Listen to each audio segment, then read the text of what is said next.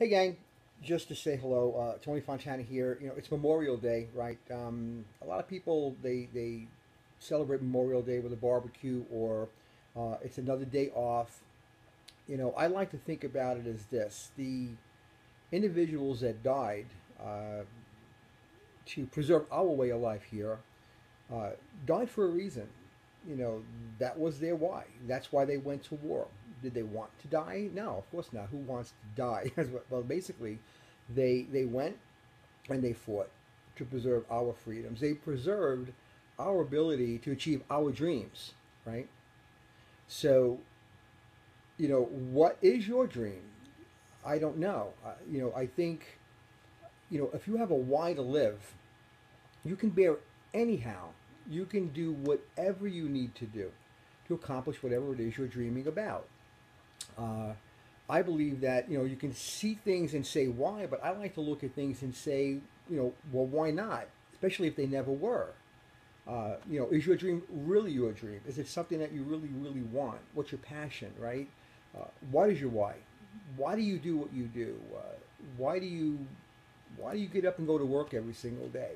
Um, you know, do you enjoy what you do? If you're not enjoying what you do, if what you do is not what you planned on doing, um, be it 10 years ago, uh, or those of you that are older, 30 and 40 years ago, if you're not where you were supposed to be or where you plan to be, then you have a chance to make some changes, right? You have a chance to make some changes right now. And I think, I think the most important thing is if you want to be in charge of your life, then you need to decide what it is you want. Don't allow anyone else to control uh, what you set out to accomplish. It's not anyone else's responsibility to determine where you go. Uh, it's your responsibility to figure that out. And, you know, dependent on, you know, maybe you want to put your kids through college. Maybe you just want to make sure that they're set up for life. Maybe you want to be with them more often. You know, maybe you don't want to work nine to five or even two to five or even, you know, nine to one. Maybe you just want to literally be home with your children. And I know many of you would like that. Uh, I think it's important to understand that you're in charge of your own life. And my goodness, that's the key, isn't it? That's the key right there. You know, maybe you want to help others. Uh, you just want to be at peace, debt free. I don't know. You have to decide. Uh, you know, you have to determine this in your own mind. You know, achieving your dreams is contingent on no one else. It's but you. It's only on you. There is no one else controlling what you do. And, you know, why not? You know, why not me? Why not right now? My friend Rafael Rojas has said this to me on many occasions, and he's achieved tremendous success in life. He's also failed hundreds and hundreds of times in life. In fact, he's failed much more than me, which is why he's much more successful uh, than myself. And it's a philosophy that I've been carrying with me now for several years, and understanding what that process is I just think it's important to, to maybe share this with you. Uh, there are two things that are lasting bequests to our children, and uh, one is roots and one is wings, right? Uh, Hodding Carter said this many, many, many years ago.